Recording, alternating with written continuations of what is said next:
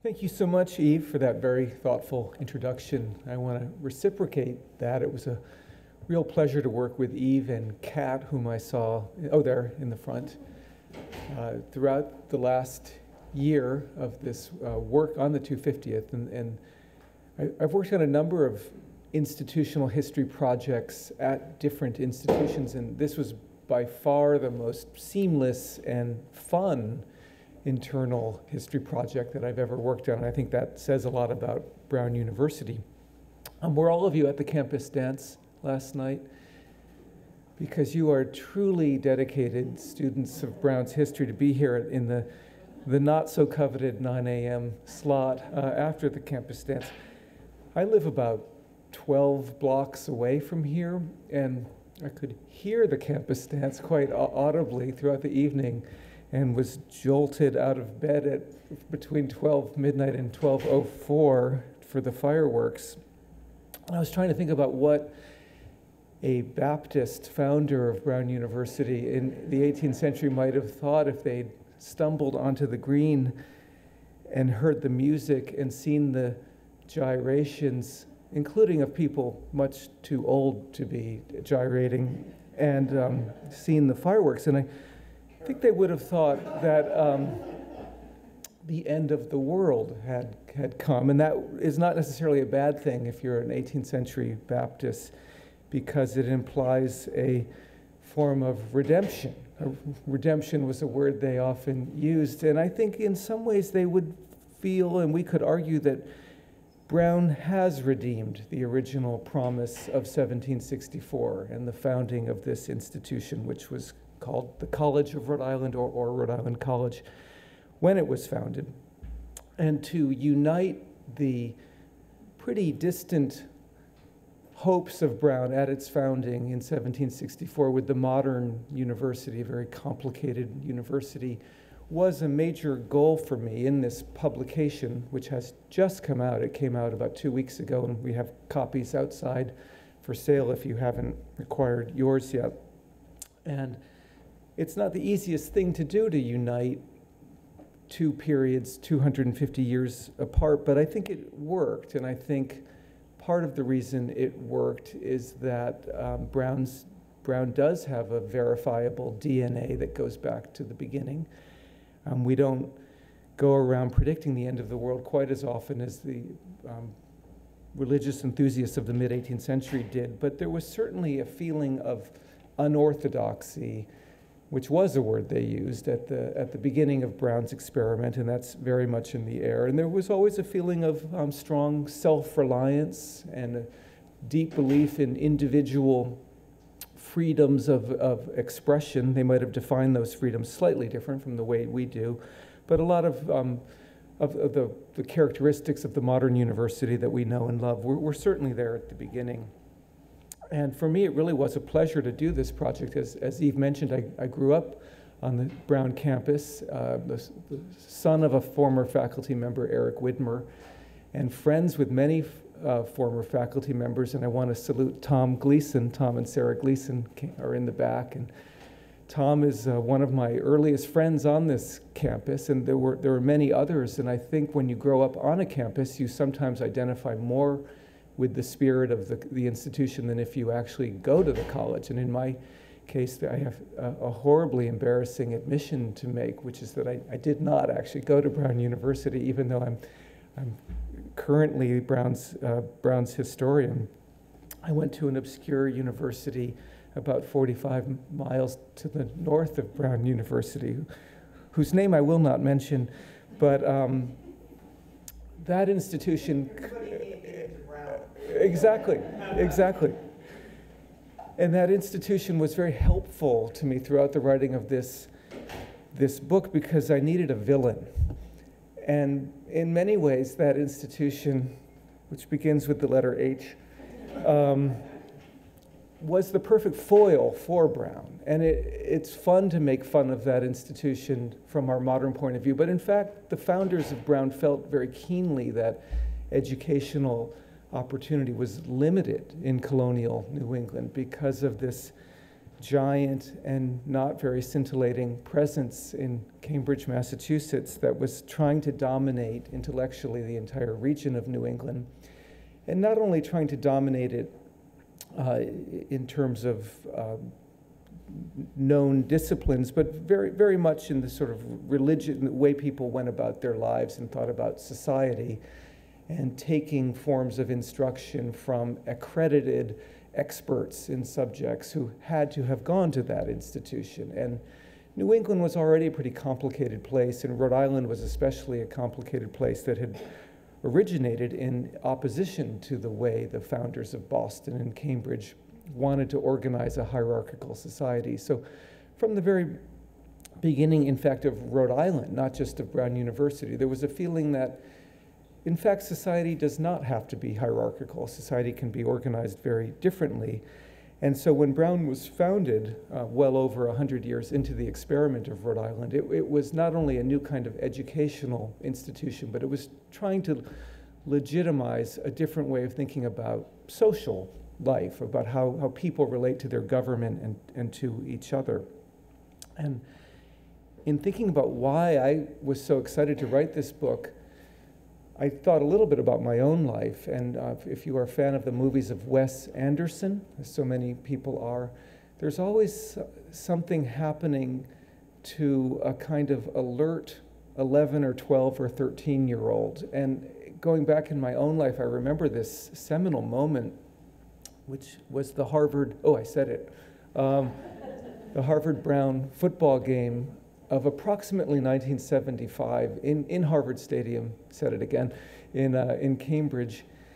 And during the halftime show, the Harvard band came out, and even though we're well into the 1970s, perhaps the most chaotic decade of all time, the Harvard band was marching in um, kind of depressing precision with their crimson blazers and their white pants and their perfect formation and they did a sort of tedious routine of the uh, 10 or 20 songs about how great Harvard is. And uh, then they dutifully marched into one of those uh, exit ramps. And then there was uh, some silence, and then a totally different sounding voice came onto the PA system.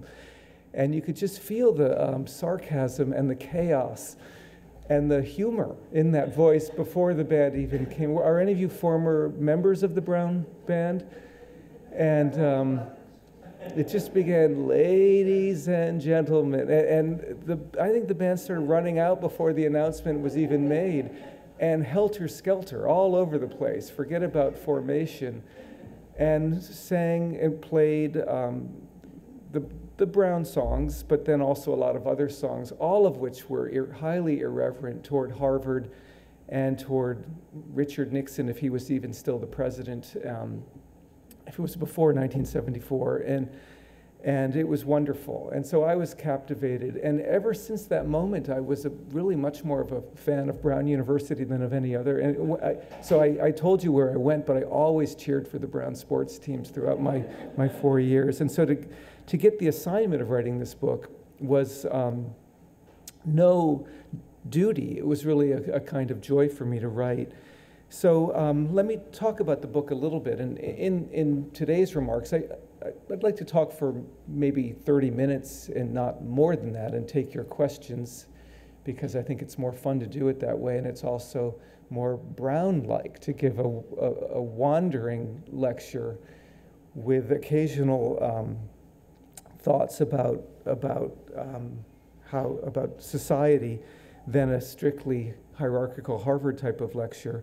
So the, the book, uh, we all knew had to be part of the 250th ceremony, um, remembrance, and I thought it made sense to have five chapters that covered about 50 years in each chapter. And, and so that is the basic layout of, of the book. And as I said, I wanted to go deeply into the origins of Brown because I think they're very important. And ha having been the director of the John Carter Brown Library, I spent a lot of time in colonial history and colonial literature. And the, the, the colonial past here in Rhode Island is unusually interesting. So, Rhode Island began, as I said, in, in a very interesting act of rebellion against uh, hierarchy.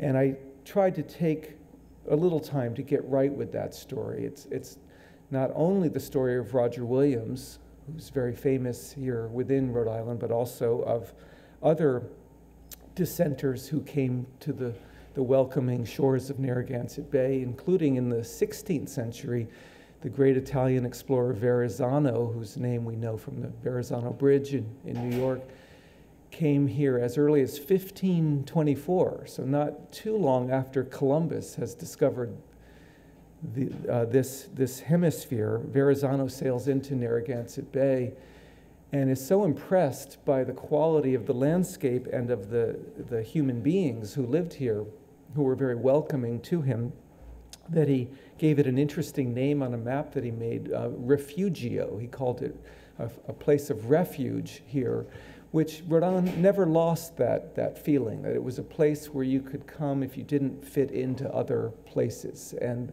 that was absolutely what happened to Roger Williams in 1636. He, he came with high hopes of becoming a leading minister and teacher to the, the Puritan colony developing very rapidly around Boston, and quickly figured out that he didn't fit in. He didn't fit in for religious reasons, but also for political reasons. He didn't like the way that the Massachusetts leaders were um, taking land from the Native Americans. He didn't like the way that they were mixing up religion and politics. And he thought all of the above should be a more deeply individualistic matter, that people should have the freedom to think for their, themselves. And when he was told that he could not, he said, fine, and he left to the, he, he went into the wilderness. And, and there's a picture of the compass he used, which is currently in Manning Chapel. And uh, he found his way here. And the Boston authorities quickly realized to their horror that they had banished Roger Williams to a much more beautiful part of, of New England. And that began about 150 years of real estate tension between Boston and Providence. And in that battle, Roger Williams really won. He, he won in an amazing way, and I think this part of the story does resonate for the future of Brown University because he, he always had a do it yourself kind of a mentality. When he ran into obstacles in, in the known way of doing something, he would just try a different way of doing it until he got it right to his satisfaction. And in his case, I just want to pause for a second to say what he did because it's it, it, the more I think about it, and I have thought about it a lot, I think it's an absolutely unique founding of a state. Um, it was a colony before it was a state, but all of the other colonies began with a significant land grant made in England to either an individual like William Penn or a group of individuals who just sketched out some territory on the map and used their power networks in, in London to get a grant and then came over here and settled that area. What Roger Williams did is much more interesting. He had ended up here because he was banished, and no one knew what this area was. It was outside the Massachusetts jurisdiction, and in fact, it was in no jurisdiction.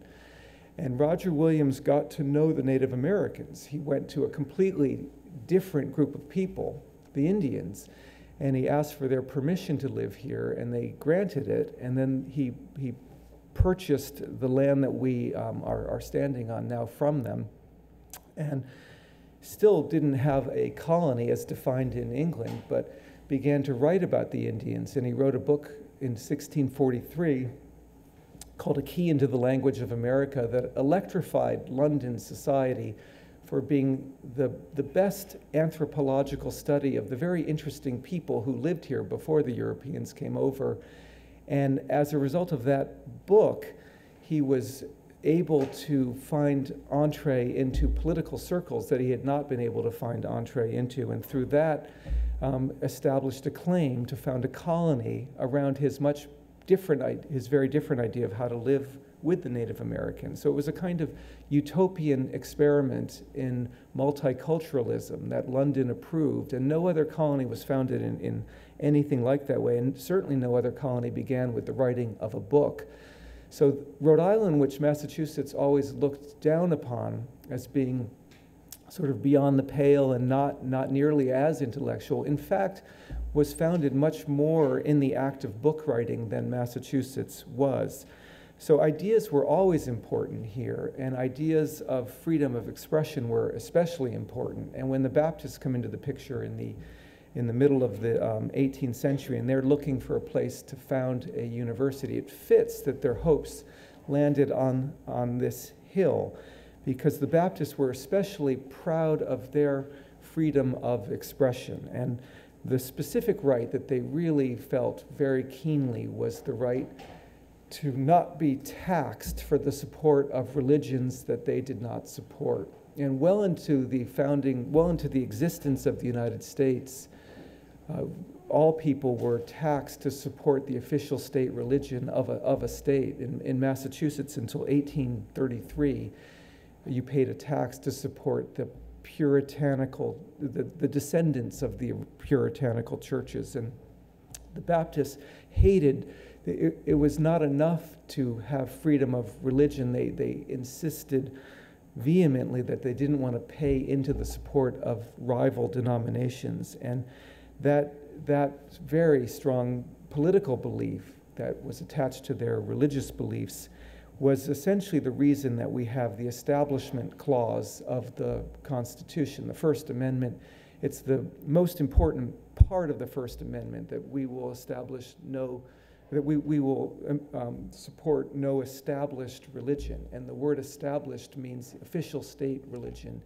And that is the uh, legacy of the Baptists of the 18th century. And their great citadel for developing this thought was the College of, of Rhode Island. So, from the very beginning, this uh, small college was founded with, with big ideas about self determination and how individuals relate to their, their government. Um, from the founding, uh, Brown had a, had a slightly rocky beginning. It was founded, as many of you know, in Warren, Rhode Island, and not in Providence, and it lasted there for only five years. And it's a little bit of a mystery why Brown had to leave Warren, Rhode Island, but I discovered in my research that in the year 1768, Warren uh, built two pillories. Pillories are those wooden structures that you have to put your head and arms into if you have misbehaved. And it's, I think, no coincidence that uh, this, this small educational institution felt a need to leave Warren right around that moment. Um, in other ways, it was going very well. The, the faculty student ratio couldn't have been better. It was one to one in the year 1765 because there was one member of the faculty and only one student. Um, that student was a 14 year old boy from Newport, Rhode Island, named William Rogers. But uh, Brown attracted high quality students from the very beginning. And if the numbers were small, they, they were impressive people, as became clear over the next 20, 30 years when they played an um, important role in the American Revolution.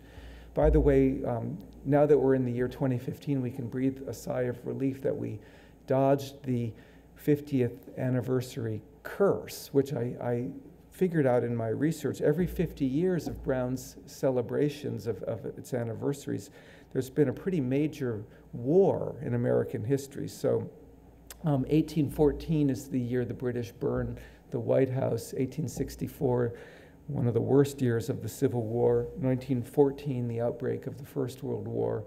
1964, the beginning of the Vietnam War, and then 2014, we, we made it through without any, any serious conflict. So I think we're, in many ways, we're getting it right um, well into our history. Um, the, the American Revolution was a, a, shock, to put it mildly, to, to Brown's uh, infant campus. And I, I, go into great detail about why Brown moved to Providence, which in, in, in many ways came as a surprise to a lot of people in Rhode Island because Providence was, was very much the junior city to Newport in 1769 and 1770, but I go into some detail about why I felt the energy here was better for a new, a new country, a, new college, and, uh, and a new country because Providence, as, as events made clear, became the more important center of resistance to, to England than Newport had been. Um, but Newport was important in the founding too, and Newport had also been a place that hoped to have a college. Uh, the great Anglo Irish philosopher George Berkeley had spent time in Newport in the 1740s and 50s, and while there had very publicly called for a, a Rhode Island college to be created. So I, I trace some of those early strands in my, in my first chapter. Uh, my second chapter, called Brown Baptized, talks about uh, the naming of Brown in 1804 when it gets the name we all know today, and its um, growing pains in the early decades when there was a remarkable amount of student violence, some of which is still traceable on campus in bits of graffiti, including one very funny one on uh, University Hall, which is still there to this day, was covered up by some shrubbery until, until recently.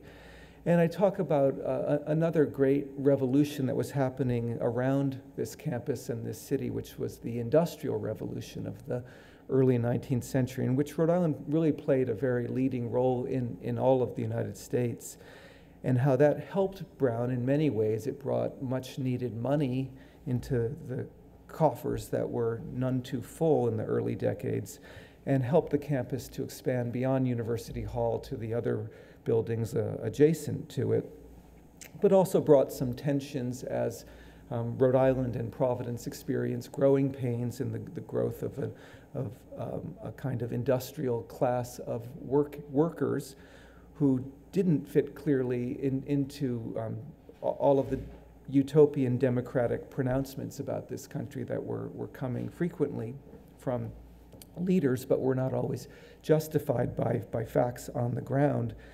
Um, but Brown, I think, worked out these tensions pretty, pretty well, as it always has. Um, and it, it did that with the careful study of government. It did it with some interesting new initiatives, including a first med school. There was a, a really promising med school of the 18 teens and 20s that ended when Francis Wayland became president. And it, it did it the way Brown always has done things well through the simple act of teaching brilliantly. And that was becoming clear in Brown's story in these early decades of the 19th century that Brown really had wonderful faculty members from, from the beginning. Uh, my third chapter is called Bookends, and it considers the different careers of John Hay and John Rockefeller Jr., whose libraries face each other in front of the Van Wickle Gates.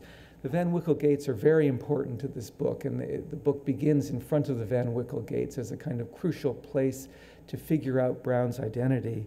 And I, in the very first sentence, uh, compare the iconography of those gates to what a, young student at uh, Hogwarts might be thinking. Uh, and in my experience, whenever you're having trouble making an academic kind of point to a group of young students, mentioning Harry Potter never fails. So I, I, I, I, I tried to hook them in.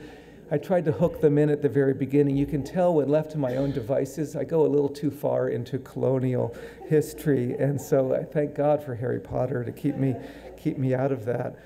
Um, and in the, in the third chapter, Brown really begins to um, get, get different and to get interesting and to, to, to leave its origins as a strongly Baptist institution for young Protestant men, mainly from southeastern New England, and to begin to admit very different kind of people. And the story of the admission of African Americans is an amazing story. And the first African American alumnus of Brown is an amazing person who has all of the great qualities of Brown, uh, including that he became a, a really remarkable teacher of others in his own right. And his name was Inman Page, and he was a member of the class of 1877. And one of the great stories, I, I felt very lucky in the writing of this book because I kept stumbling upon these uh, amazing stories that spanned the century. And one, one of them involves Inman Page. Uh, so he's class of 1877, as I said. He's a young African American slave who is uh, becomes free. I think he probably ran away from the carnage of the Civil War. He's from Virginia. Uh, as, a, as a teenager, makes it to Washington, D.C., where he begins to impress people with his intelligence, and he's finally sent up here. It's a little unclear why he came up to Providence, but, um, but he did. And uh, it was just the right moment. There had been some agitation for Brown to open its doors to African Americans, but they had not yet. But he arrived right at the right moment and he became valedictorian of the class of 1877 and gave a beautiful speech about what education had meant to him and then became a lifelong educator, primarily in the Southwest, uh, in Tennessee and Mississippi. That was the Southwest then, and uh, ultimately in Oklahoma, where he became an educator for 50 years. And near the end of his life, was the high school principal of a very talented young writer named Ralph Ellison, who became the great mid 20th century novelist who wrote Invisible Man, one of the, the seminal books of African American literature. And in 1979, 102 years after Inman Page graduated from Brown, Ralph Ellison, who by then was an old man, came here to give a talk. And in the course of his talk, I think he'd been invited just to talk about being Ralph Ellison. He changed the topic to the legacy of Inman Page upon Ralph Ellison. And it was this incredible moment where 102 years later, the life of a Brown undergraduate, who happened to be the first African American undergraduate, suddenly came alive through the words of Ralph Ellison. And he said he never would have become a writer without Inman Page. And he told a hilarious story of the most embarrassing moment of his life when he was supposed to give a student oration and he was standing behind the principal, Inman Page, about to go on stage before his high school in Oklahoma, and a rope that was ringing the bell, calling everyone into the assembly, caught him and Inman Page together and pulled them up and then dropped them down in a giant mess on the stage in front, and the whole crowd exploded in laughter. And Ralph Ellison ran out of the room thinking he'd probably been expelled and came back the next day to gather his belongings. And Inman Page couldn't suppress a chuckle. He was trying to discipline him and couldn't stop laughing. And that double voice of sort of laughter and authority at the same time stayed in the mind of Ralph Ellison and led him to want to write in a way that reflected a kind of double voice, which is the theme of Invisible Man. And so it's a beautiful tribute to Brown from someone who didn't actually go to Brown, but, um, but bringing back to life the, the career of Inman Page, the first black alumnus. The story of women coming to Brown is also incredible and also uh, reflects on some agitation well before women actually came to Pembroke, what became known as Pembroke. In, uh, um, in 1891 is the year women first begin to receive instruction here, but they always had been important uh, on campus as sisters and daughters and mothers of Brown students, but um, also as students in their own right, auditing classes without being able to, to officially graduate or attending the university grad, uh, um, uh, grammar school, which was on this campus. And when the moment fit finally came in 1891, it was clear that it was the right thing to do. And it was clear to Brown male undergraduates pretty quickly because um, women were immediately outperforming their male counterparts, but also the faculty really, really got behind it, and a very important president, Benjamin Andrews, was um, the real spearhead of, of that effort. So I try to tell the stories of how Brown kept living up to its founding creed, not by staying the same, but by getting better and better and refusing to, to maintain a, st a status quo that, if it were maintained, would have resulted in, in mediocrity rather than excellence. Um, I always tell sidebar stories throughout the writing of this book, and one of the better ones I, I found is that the first display of a, the throwing of a curveball took place right next to University Hall. Um, a, a, young star pitcher claimed that he could throw a ball that curved, and his physics professor said it was impossible. So they had a scientific display, and that is the birth of um, the curveball. And I think what, what an appropriate pitch for Brown University. Um, a, a, fastball would have been far less interesting.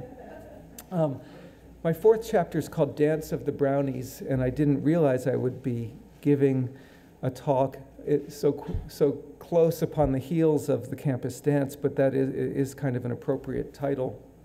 Um, it was a kind of a, an event here at Brown around the turn of the century called the Dance of the Brownies. And in, in this section, I talk about the, the rise of the modern university and the greatness of two presidents, um, William Faunce and uh, Henry Wriston, each of whom really took the university to a very different place from where it had been before. Faunce is fascinating for a lot of reasons, including his lifelong friendship with John D. Rockefeller Jr., who finally helped Brown uh, in many ways to enter the big leagues and to afford projects that it never had been able to afford before. And I found very movingly in my research that they were really important warriors for religious tolerance in their, in their time in a way that never called attention to themselves, but which was very courageous all the same and within the Baptist church, there were bitter controversies in the 19 teens and 20s over um, still pretty, pretty forceful currents of, of fundamentalist religious thinking. And you might remember the, the Scopes trial controversy of 1925 or the teaching of evolution controversies that have not entirely disappeared almost 100 years later. And throughout those controversies, uh, Faunce and Rockefeller were, were a very strong team for tolerance and for modernism within religion. And I think Brown can feel proud of, of who they were. Brown faculty and alumni were also very important in the uh, confusing aftermath of World War I, when there was a lot of tension about Im immigrants and left wing thinking in this country. Brown faculty and alums were very eloquent in defining the rights of dissenters to, to, to also speak. Um, the years 1914 to 1919 were years of intense activity on this on this campus. And I kept finding that Brown Brown really changed during the great military efforts, the Civil War, World War One, World War Two, and I find myself powerfully drawn to those stories. Um, but they were different stories from the ones I went to be telling. And Brown is famously uh, liberal, of course, and um, in the 1960s and 70s was, was uh, pretty clearly against the war effort. in those earlier wars, Brown was just as clearly behind war efforts, and I found the, the ways in which that happened and the way military instruction took place. The Vietnam War? Very interesting and very moving. So there's a fair amount of that in this book. Um, 1916 is an especially big year for Brown. It's the year, amazingly, that Brown's football team uh, played in the Rose Bowl. I don't dwell too long on the final score of that game, which uh, Brown was on the losing side, as it so often was in football. But uh, the great importance of, of the fact that it got into the Rose Bowl at all. The Rose Bowl hadn't been a great football game until very recently. It had been an ostrich race in, in Pasadena, so they were still trying to figure out what the Rose Bowl actually was going to be. But um, as they were experimenting with football, Brown happened to have a very good team that was willing to come east. And as I studied that team a little more carefully, I became aware of the importance of a single athlete in Brown's story. And there always were these individual stories that were really moving to me.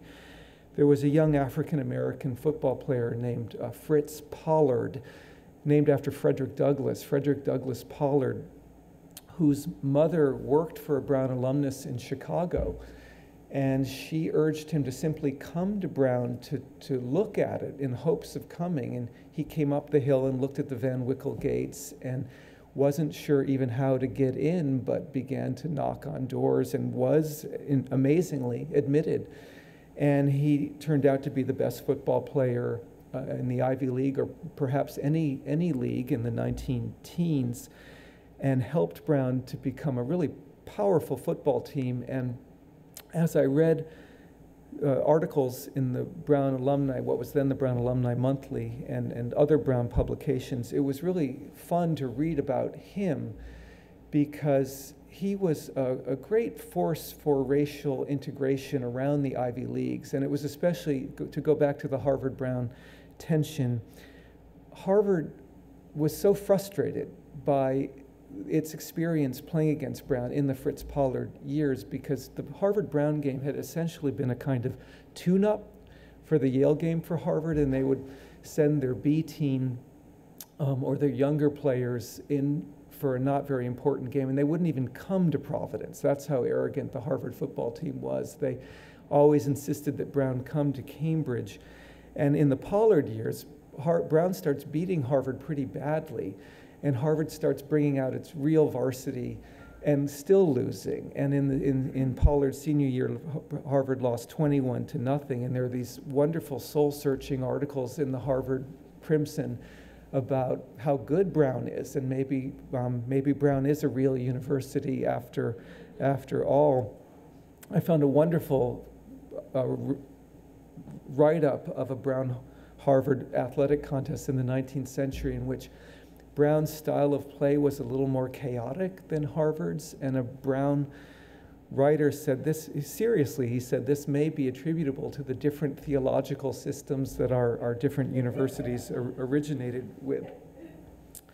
And the final, uh, after the, the Pollard years, I, I spend some time in the 1920s when I think Brown uh, continued to, to become much greater than it had been by opening itself up to the, the very different ki- kinds of people who were living around Providence.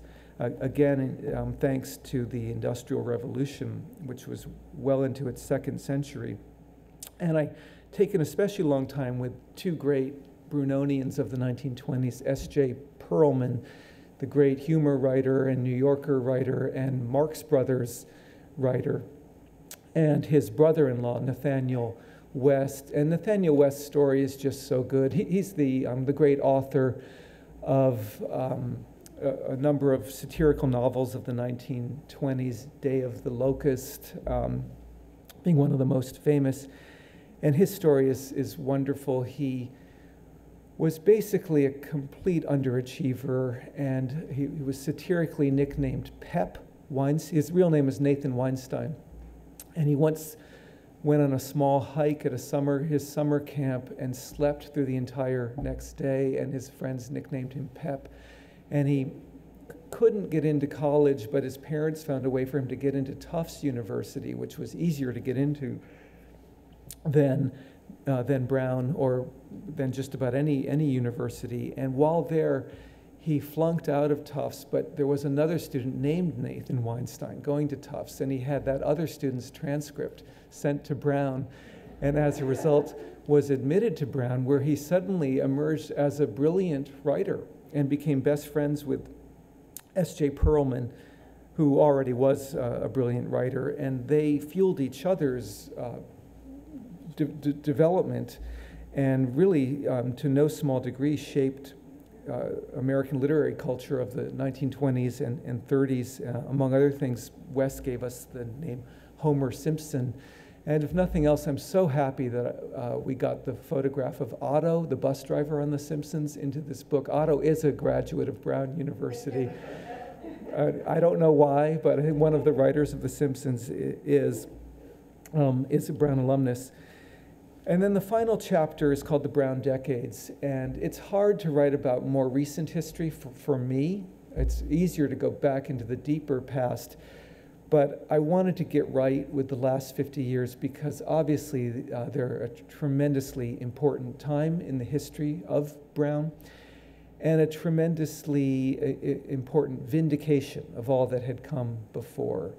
And through these first 200 years, Brown had achieved teaching excellence and had attracted iconoclasts, really interesting undergraduates who had done impressive things here and there, but it had fallen short, I would say, of the, the, the definition of national and international greatness of, of the, the Harvards and Yales and, and Princetons. And that was largely due to lack of money and to a kind of um, regional focus that made Brown a very good place if you were from uh, within 100 miles of Providence, but also meant that Brown was unlikely to get the great students from New York City or the South or the Midwest or the West, and all of that changed in the last 50 years.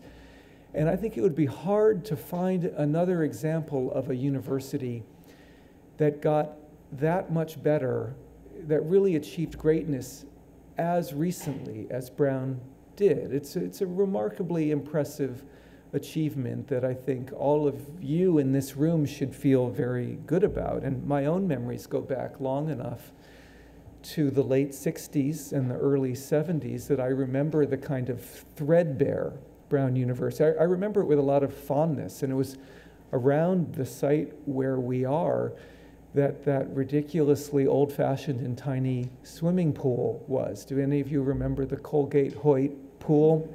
Which, how could you even have a swim meet against another, unless you really practiced your turns? If you, eh, eh, which maybe is is what happened.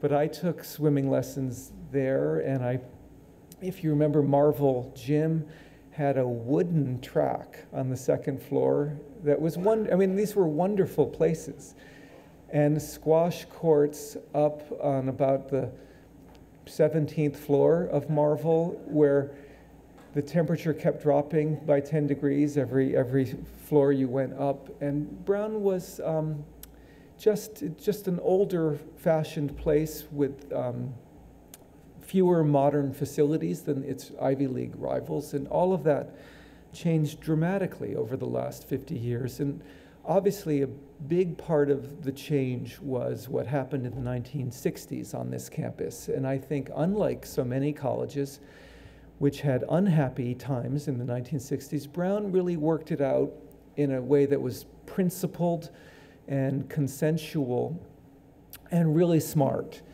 And the, the most famous of those changes was the new curriculum of 1969.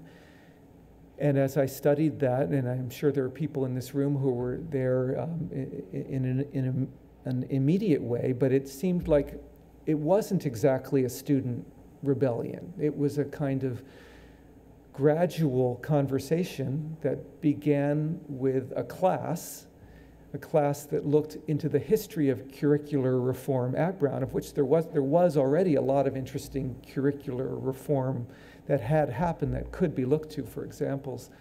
And then um, drew upon the expertise of faculty who were obviously deeply interested in the question of how to teach on this campus, and then found an administration that was willing to let the experiment go forward. So it wasn't students chanting, outside University Hall and occupying it.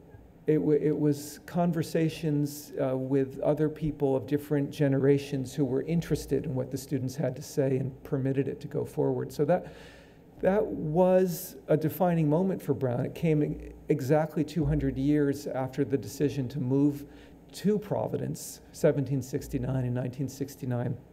And I think 50 year, almost 50 years later, it's pretty clear that Brown really got it right with the new curriculum. And it, it wasn't just right for the Brown of the 1960s, but it clearly became a very powerful re recruiting tool for the best high school students out there around the country and around the world who wanted to come to a university that took the ideas of young people very seriously and gave them not only freedom, which is something of an over rated concept in my mind, but also respect and self discipline, because the discipline to pick intelligent courses is a crucial part of the new curriculum. It's not just freedom to do basket weaving and macrame and whatever you want to do. It's the, the freedom to design a really smart curriculum that serves each individual's needs well. And so I found a lot of self discipline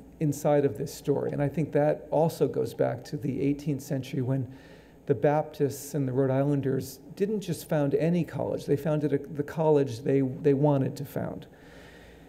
And uh, then I, I, I, do a kind of rapid romp through the 70s, 80s, 90s, and, and beyond. And I, I think Brown got very lucky in its presidents in those eras. And I, I, I, I won't repeat the book, but I think Howard Swearer was a real um, tipping point for this university who radiated a kind of um, self confidence that was important, that Brown no longer needed to feel like a, one of the lesser of the Ivy Leagues, to be happy to be in the Ivy Leagues, but, but not quite on the, the same playing field. And with Swearer, that, that feeling vanished, and Brown started competing very effectively for, for the best students in the country and in, in the world, and starting programs um, like the Watson Institute and, and others that uh, didn't necessarily look to other Ivies for, for example or for permission and just sort of doing things its own way. And that, uh, that self confidence has never vanished on this campus and is probably um, higher, better developed than it ever has been, and just keeps getting better year after year after year.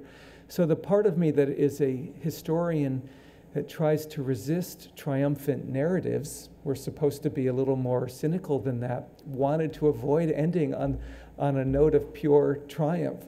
But the part of me that grew up on this campus and saw how far Brown has come knew that I had to end on that kind of a note because it is true. It is true that Brown has become a great national and international institution, and every year the yields, the yield figures of admissions goes down. And I see the most brilliant students I've ever met in my life come through these doors and then leave these doors and go on to be even more incredible people as alumni than they are as, as students.